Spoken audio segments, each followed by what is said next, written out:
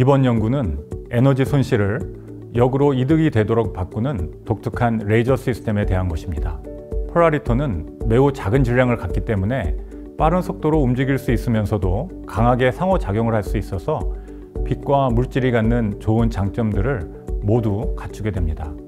저희는 육각 공진기 구조에서 폴라리톤을 형성하게 되면 엑시톤을 매개로 해서 정삼각형과 역삼각형 모두 사이에 직접적인 상호 결합이 단 하나의 공진기 내에서 가능할 것이라는 점에 차관하여 연구를 진행하였습니다. 이 연구는 기존의 광자를 이용한 복잡한 PT 대칭성 시스템 대신 상온 폴라리톤을 이용하여 단 하나의 공진기만으로 PT 대칭성을 구현했다는데 의미가 있겠습니다. 이러한 결과는 기존 레이저의 문턱 에너지를 낮추거나 비선형 광소자와 정밀한 광 센서에 적용될 수 있고 빛의 방향성을 제어할 수 있는 비가역적인 소자나 초유체 기반의 양자 광소자 등에도 활용될 수 있습니다.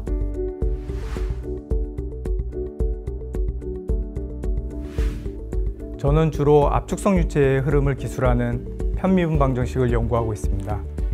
본 연구에서 충격파의 안정성에 관한 리만 문제는 오일러 방정식에 대응하는 나비에스토크스 방정식의 해들의 비점성 극한들의 집합 위에서 해결될 수 있다는 추측을 1차원 공간 위에서 최초로 해결했습니다.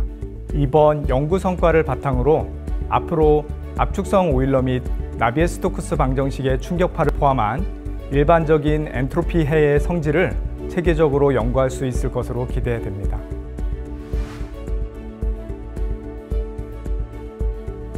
저희 면역 및 감염질환 연구실은 코로나19 팬데믹의 와중에 코로나19 환자에서 나타나는 면역 반응의 특성을 규명하기 위해 노력해 왔습니다. 현재 저희 연구팀은 코로나 백신을 맞은 후의 면역 반응에 대해 연구하고 있습니다. 그리고 코로나19 팬데믹에 대응에 있어 앞으로는 중화항체뿐만 아니라 T세포 면역 반응을 더욱 연구하고 고려해야 한다는 의견을 제시하여 세계 면역학계의 주목을 받게 되었습니다. 특히 백신 접종으로 형성된 기억 T세포들이 오미크론 등의 변이주들에 대해서도 잘 작동한다는 사실도 보고하여 팬데믹의 종식 및 해결을 위해서는 T세포 면역 반응이 매우 중요함을 역설하는 연구 결과도 최근 발표하게 되었습니다. 코로나 팬데믹 와중에 저희 연구팀은 이러한 일련의 연구를 수행하여 코로나19 바이러스에 대한 인체 면역 반응에 의해 일조하게 되었습니다. 이번 팬데믹이 종식되더라도 향후 또 나타날지 모르는 신종 바이러스 문제에 선제적으로 대응하기 위하여 저희 연구실은 앞으로도 최신 연구 기법을 활용하여 바이러스 면역학 연구를 지속적으로 할 계획입니다.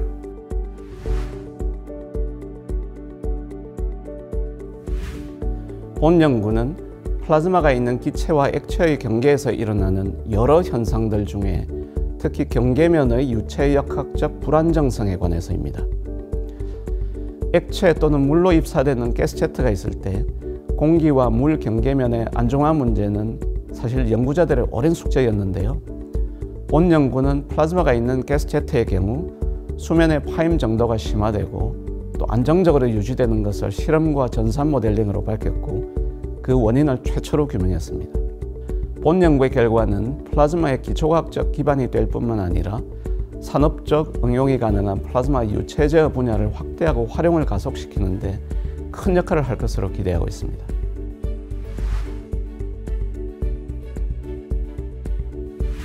저희 연구는 새로운 형태의 비전 센서인 이벤트 카메라를 이용한 시각 인공지능 연구입니다. 아, 이벤트 카메라는 기존의 프레임 단위의 카메라 대비 더 넓은 동적 영역을 가지고 있어 매우 밝고 어두운 영역을 모두 센싱하는 능력이 우수하고 또한 지연 시간이 매우 짧아 아주 빠른 움직임도 감지할 수 있을 뿐 아니라 카메라나 사물의 움직임에도 매우 강인하여 아주 빠른 움직임이 있다 하더라도 선명한 데이터를 얻을 수 있습니다. 저희는 새로운 형태의 카메라인 이벤트 카메라를 활용하여 시각 인공지능을 구현하기 위한 연구를 수행하였습니다. 이에 따라 이벤트 데이터를 직접 활용하여 다양한 시각 인공지능 기능을 구현하는 것이 가능해졌고 이는 이벤트 카메라 연구에 있어서 매우 의미 있는 연구 결과로 인정을 받았습니다.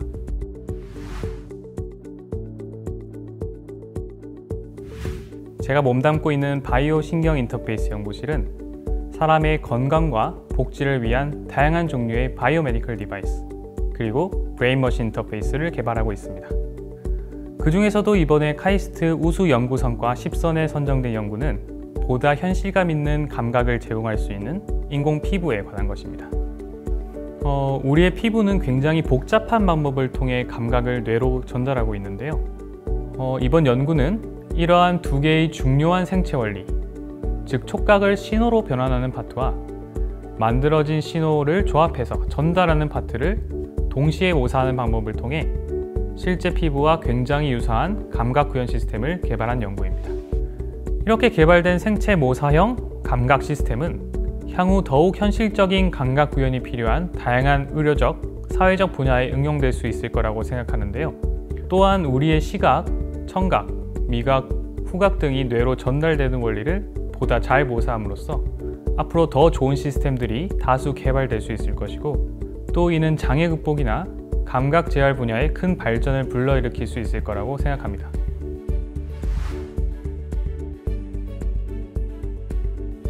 사물 인터넷 시대를 준비하기 위해서 우리는 다양한 기술적인 어려움들을 해결해야 합니다. 그 중에서 대표적인 문제가 바로 보안 문제입니다. 보안 기술의 핵심은 데이터의 암호화입니다. 완벽한 암호화를 위해서 가장 중요한 것은 규칙이 없는 암호를 만드는 것입니다. 이 규칙이 없는 암호를 만들기 위해서 필요한 것이 진성난수입니다. 저희는 모트 전이 소자를 진동하는 회로 그리고 진동의 횟수가 짝수인지 홀수인지를 카운팅할 수 있는 회로를 포함하는 진성난수 발생기를 제작했습니다. 저희가 개발한 기술은 기존 기술 대비해서 속도가 빠를 뿐만 아니라 에너지 소모도 적고 매우 간단한 회로로 제작할 수 있었습니다. 저희는 이처럼 소재의 독특한 특성을 활용해서 미래의 반도체 기술을 이끌 수 있는 연구를 이어나가도록 하겠습니다.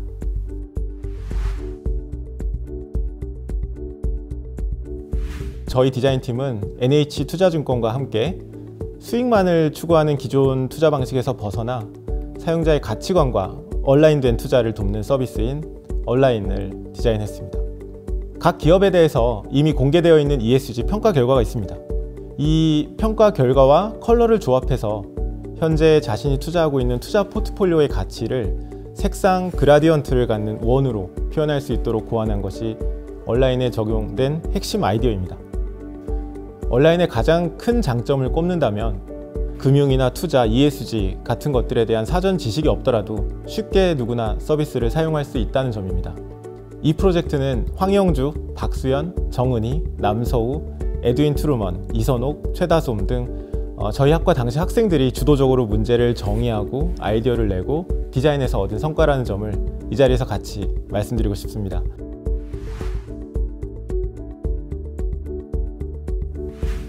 저희 연구에서는 자연의 구조색을 인공적으로 모방하여 인쇄할 수 있는 기술을 개발하였습니다. 구조색 발현을 위해 규칙적인 나노 구조로는 균일한 크기의 콜로이드 입자가 자발적으로 이루는 결정 구조를 이용하였습니다. 이번에 개발한 구조색 인쇄 기술은 유리, 금속, 플라스틱, 종이, 심지어는 직물에도 인쇄가 가능합니다. 복제가 불가능한 구조색의 특성으로 인해 차세대 위변조 방지 소재로 활용될 수 있을 것이고 외부 자극에 따라 변색하는 특성을 이용하면 색깔로 환경을 측정할 수 있는 가시성 높은 센서로도 활용 가능합니다. 더 나아가서 카멜레온 피부와 같은 웨어러블 디스플레이 개발에도 활용될 수 있을 것으로 생각합니다.